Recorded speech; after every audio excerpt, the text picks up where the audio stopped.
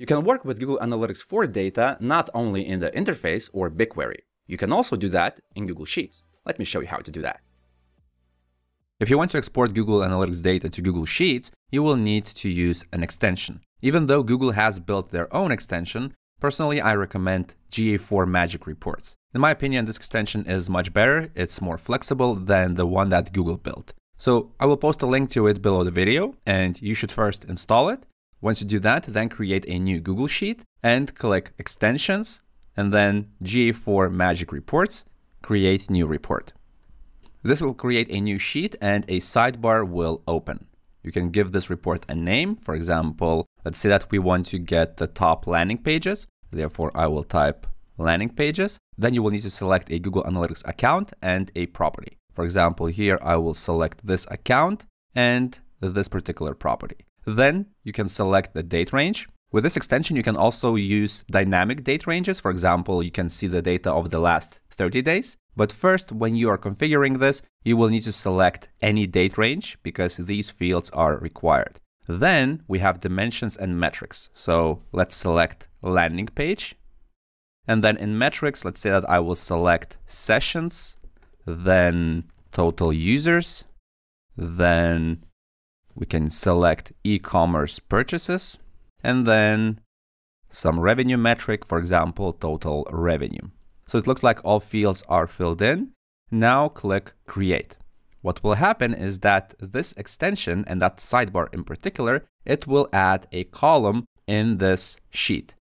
Each column will represent a separate report. So for example, if you want to build like five different reports, then each report will have its own column. This column consists of various configurations related to the report. So here you can click on these cells to see the comment. Some of the cells will have definitely very useful comments. Let's say the end date or the start date. So far we have static dates, but if we want to get more dynamic data, let's say the last 30 days, then in the start date, you can enter 30 days ago. So we can copy this and then add it right here and change the date to last 30 days or 30 days ago. And then the end date could be today or yesterday. Knowing the nuances of Google Analytics, today's data is definitely not accurate. Therefore, let's include yesterday instead. And if we are looking at the yesterday and 30 days ago, it means that we are looking at 29 days ago. So usually if you care about the last four weeks, maybe we should select 29 days ago. So between these two dates, we will have 28 days. And for the beginning, I think that's enough. Now let's generate the actual report. So click extensions, then GA4 magic reports, and then run reports. After a while, you will see that one report was completed. We can click OK. And then here we see the sheet. I mean, it's a new sheet with that particular data. Right now I'm looking at the demo property, therefore I don't have a lot of data here, but we can still see the pages, the users, sessions, and if I had some revenue metrics, I would also see some numbers right here. If you want, you can also apply filters. For example, maybe you want to see the landing pages only of a particular traffic source. That could be done by going to extensions, magic reports, and then edit report. You will need to wait for a bit until it finishes loading. And here I can select which report do I want to edit. If you had more columns here, then you would see more reports. Right now I just have one, which is landing pages. So I will click edit it will open a sidebar and here you will need to wait for a bit longer as well until these fields will be filled in again. And let's add a dimension filter where we want to include only that data where session source medium contains and then some traffic source. In this particular property, I don't think that I have organic traffic, but I know that I have some referral traffic. Therefore, I will just type referral and then save or save and run. If you click save and run, you will save the changes and you will run the report automatically. So let's do that. This might take a while, but eventually the new data will be fetched. Now click OK. If I go to landing pages, the list of pages has changed. It was reduced because obviously we filtered down the report to only particular traffic source.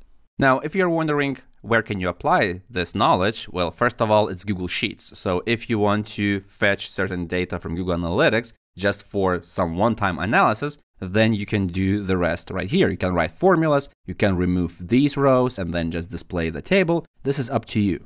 But if you want, you can also build Looker Studio reports by connecting this Google Sheet to Looker Studio. First of all, I could, for example, name this sheet so that it would be easier for me to find. I will call this, let's say, GA4 Magic Report Demo. And then I go to Looker Studio, I create a new report. Then I will select Google Sheets as the data source. Then here I can select the spreadsheet and a particular sheet. In this case, I have the landing pages. So I will select here. And then since this particular sheet contains a lot of stuff that I don't want in the report, I just need this, I can tell Looker Studio to include only a specific range. And in this case, it could be from A15 till the very end of the E column. So let's say just E like that and click add. Here I see that some table was already created, but most of the dimensions or columns were not included. But I can do that by clicking here and selecting, let's say, sessions, then total users, then e-commerce purchases, and then total revenue. Record count is not necessary, so I could technically remove that. And you can make this even a bit more user-friendly. For example, instead of landing page displayed like this, you can click the pencil and then rename this to landing page, and then do the same thing for all other columns. So the reason why you might want to do this is because remember that when you connect Looker Studio directly to Google Analytics, you're using API quotas. If you are a small business, then you will probably not reach those monthly limits or daily limits. But if you are using more reports and you don't want to invest a lot of time in learning how to work with BigQuery, this might be an option for you because instead of querying the data with Looker Studio directly from Google Analytics, instead you are just querying, let's say once in 12 hours with Google Sheets, and then the report in Looker Studio is actually not using any quotas anymore because it is then fetching data from Google Sheets.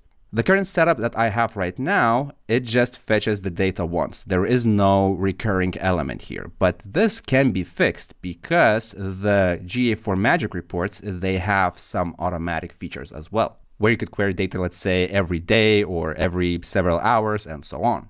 This could be done by going to extensions, GA4 Magic reports, and then schedule reports. Here you should enable reports to run automatically, and then you can select the frequency. Is it every two hours or every day or every week or every month? Usually I think it's enough to have either every two hours or every day. Because remember, if you set it every two hours, you will be using some quota of the API limits. But if you select it once a day, then you will exceed those limits much slower. Here you can also select the exact time when you want to fetch this and then click save. And that's pretty much it. So if you check, let's say this report tomorrow, its data will be slightly different than today. And that's how you can pull Google Analytics 4 data into Google Sheets. Special thanks go to Michele Pisani for creating the Magic GA4 Reports extension, and I hope that I pronounced his name correctly. If you found this video useful, hit the like button below the video. That will help me understand what videos do you like and what should I create in the future. Also, if you want to learn more about Google Tag Manager or GA4, then subscribe to this channel. My name is Julius, this is Analytics Mania, and I'll see you in the next video.